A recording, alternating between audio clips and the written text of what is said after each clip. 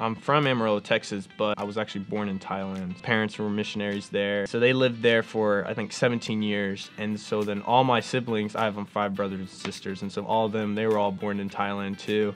And so I, I was there till I was eight. And then when I was eight, um, we felt like we were supposed to come back. So we moved back to the States. And then I was trying to figure out um, what college to go to. And then my brother, he was in, uh, he was a finance major. My sister, she was a marketing major, and they just kind of loved the business realm. And so I was like, know, I'll try general business. Um, it's pretty general.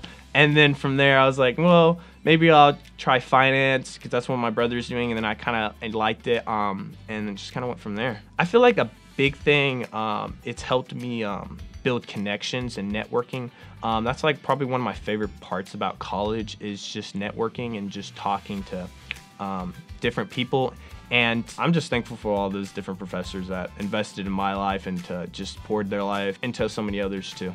Um, I'm Jake Pennington. I'm an alumni of the Engler College of Business. Go Buffs.